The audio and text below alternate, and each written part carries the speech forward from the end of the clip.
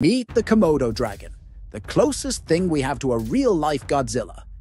This beast can smell dinner from over six miles away. Imagine sniffing a pizza that far.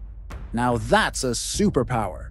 But don't let that goofy tongue fool you. These guys are straight-up apex predators.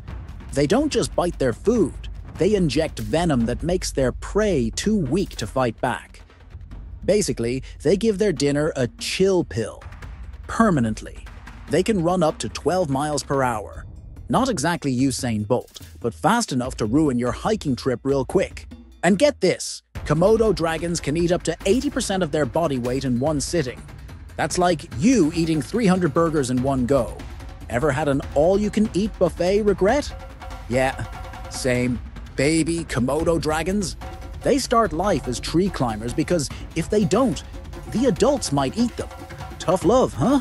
So, next time you think about dragons, forget the fire-breathing ones. These guys are the real deal. Would you want a pet Komodo dragon? Let me know in the comments. And if you love wild facts like these, hit that subscribe button.